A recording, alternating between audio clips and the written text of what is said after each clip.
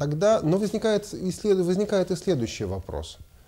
Когда же все-таки а, начали формироваться первые каноны священного писания? То есть когда же все-таки появились списки, где было бы сказано, вот такие-то, такие-то книги принадлежат к Новому Завету, ну и, соответственно, другие, все остальные книги не принадлежат. Помните, мы с вами говорили о том, что одним из стимулов, одним из факторов становления канона был фактор миссионерский. Собственно говоря, ранние каноны – это и есть переводы, ранние переводы, э, ранние переводы Священного Писания. Например, уже во втором веке был сделан э, перевод на сирийский язык, древнесирийский перевод Священного Писания. И интересно, что переводя Новый Завет, перевели они практически все, кроме буквально нескольких книг. Запомните пока, какие это книги, потому что это нам еще пригодится кроме второго послания Петра, второго и третьего послания Иоанны, Иоанна, и послания Иуды, и откровения Иоанна Богослова. А все остальное было уже переведено. Что это означает? Это значит, что переводчики во втором веке имели доступ ко всем этим текстам, представляли себе, понимали, что все эти тексты священны, что все эти тексты достойны того, чтобы их переводить. А Дальше также был сделан старолатинский перевод, перевод на латинский язык того времени. И опять-таки переводилось все, кроме буквально нескольких посланий. Не было переведено послание к евреям, послание Иакова, первое и второе послание Петра. А я уже говорил вам о еретическом каноне Марциона, который был, который был ну, не, который не признавала и ранняя церковь в те времена обратите, но обратите, пожалуйста, внимание о том, что э, большая часть того, что мы с вами называем каноном сегодняшним, вошла уже туда. То есть разговоры о том, что вот в 300 каком-то году после того, как Константин взошел, после того, как император Константин стал христианином, стали решать вопрос о каноне, и вот тогда, собственно, кто-то сидел, голосовал, что принять, что не принять. И вот эти э, злыдни, отцы церкви э, решали вопрос о том, какие там им секты ущемить, какие им секты не ущемлять. Э, понимаете, это разговоры э, на самом деле пустые. Потому что, помните, мы с вами вчера тоже говорили о различии между существованием канона и признанием канона. Вот э, каноны похожие, очень похожие на то, что мы с вами знаем сегодня, существовали уже тогда. Э, да, были определенные различия, каких-то книг не хватало э, в канонах, но, в общем-то, эти каноны практически повторяют то, что мы знаем сегодня. Так называемый мури, а, мураториев канон или канон муратории – это а, рукопись, принадлежащая к 170, датируемая 170-180 годам. Интересно, что вот этот канон а, был, фактически, был идентичен старолатинскому. То есть там было перечисление книг, священных книг. То есть, видите, уже во втором веке встал вопрос, какие книги священные, какие книги не священные, какие богодухновенные, какие не богодухновенные. И вот эти вопросы решались. А, прежде чем пойдем дальше, а, есть смысл задуматься еще вот о чем. А, оппоненты христианства говорят, ну вот смотрите, ведь а, реально какие-то документы, касающиеся официального признания канона, появляются только в IV веке. Вот почему так поздно? Да, если канон э, существовал и раньше, то почему общецерковные документы, признаю, э, провозглашающие этот канон, появляются только к IV веку? Где же они были во II и в III веках? Ответ на этот вопрос на самом деле совершенно очевиден. Нужно только вспомнить, что, во-первых, церковь во втором, в третьем веках была очень разрознена, и на протяжении большой части этого времени христиане подвергались преследованиям. А вот не было возможности разослать указ по всей Римской империи, который предписывал бы тот или иной канон. По этой причине на протяжении долгого времени существовали региональные каноны. Церковь была разрознена. В одних местах признавали одно, в других местах признавали другое. А у церкви была другая задача. Задача церкви заключалась в том, чтобы просто выжить. и при этом еще и расти, укрепляться. А, да, для этого нужно было определить, какие книги будут священными, да, в частности, чтобы противостоять ересям. Для этого нужно было определить, что именно вдохновил Бог, а что Бог не вдохновлял. Но какими-то законодательными инициативами ну вот, заниматься было просто невозможно. А, представьте себе, ну, без конкретных примеров, ну, скажем так, представьте себе государство, а, даже в современном мире государство, у которого огромное количество внутренних проблем.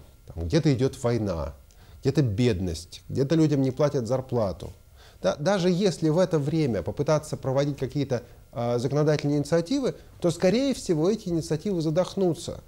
Потому что государство разрознено, потому что централизации еще нет. Потому что каждый на своем месте царь и король, э, сам себе царь, сам себе король. Каждый решает вопросы так, как он считает нужным. Законодательные инициативы начинают работать тогда, когда проходит объединение, проходит, происходит укрепление этого самого государства. Вот, собственно говоря, с приходом Константина, с покаянием Константина, с приходом христианства в Римскую империю, именно эти процессы а, и начинаются. И здесь перед нами шаги уже официального принятия канона начала IV века, и возникает вопрос, какие книги богодухновенны, какие нет. И вот Евсевий Кесарийский пишет письмо, датируется оно, здесь не написано в слайде, датируется оно 323 годом. А заварушка там такая, император просит составить копии священных книг для того, чтобы их в библиотеках иметь. Евсевий, как самый большой специалист по церковной истории на тот момент, а, обобщает все, что ему известно по поводу э, священных книг. И вот он пишет список, в котором, котором, он, э, в котором он включает все 27 книг сегодняшнего Нового Завета. Обратите внимание, 27 книг, но не больше. Но при этом по поводу некоторых книг он использует страшное слово – антилегомены. Что такое антилегомены? Что такое антилегомены? Не, да, вы, выступ, э, те да, спорные книги, оспариваемые книги. Следующий такой список а, принадлежит перу Афанасия Великого. А, это уже 60-е годы IV а, века.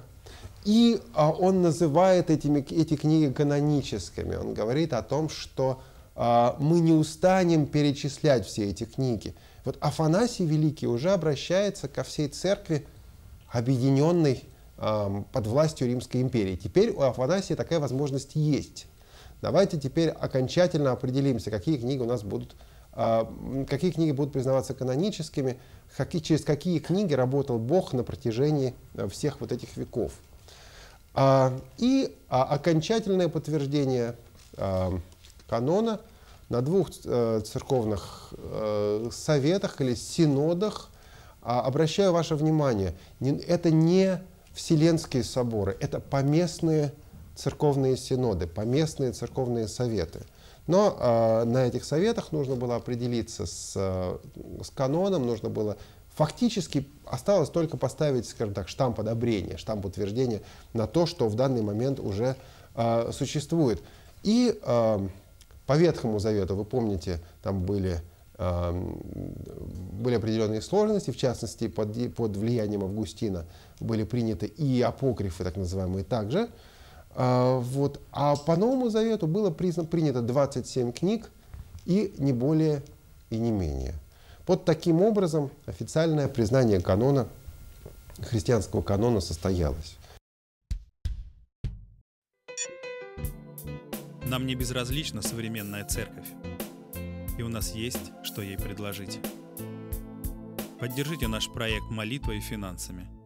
Информацию о чем молиться и как пожертвовать вы можете найти на сайте www.tvseminary.com. Подводя итог, а, мы сейчас будем говорить о конкретных книгах, но подводя итог тому, о чем мы говорили с вами до сих пор. А, канон был признан народом Божьим задолго до того, как официально появились списки канонических книг. В разных регионах существовали и другие книги, которые читались христианами, э, которые э, признавались полезными.